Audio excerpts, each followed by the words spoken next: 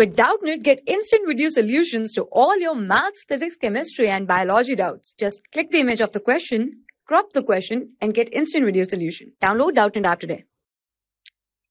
Hi students, so our question here is that Arun bought a pair of skates at a sale where the discount given was 20%.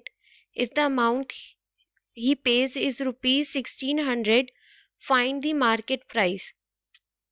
So in this question, we have to find the market price. So let the market price be rupees x, right? So market price is rupees x.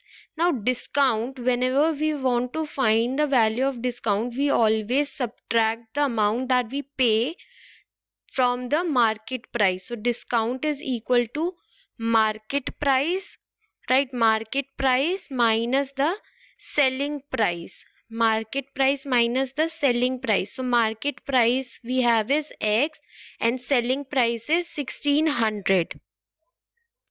Now discount percent. Discount percentage is equal to discount, right?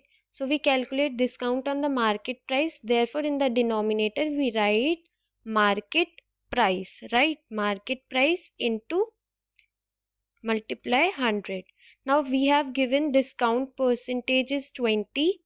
Discount is x minus 1600. Market price we have given is, we have let the market price as x into 100, right? Now we'll solve this. Now 20 is equal to, right, x minus 1600 divided by x and here 100 is in multiplication so on the left hand side it will be in division.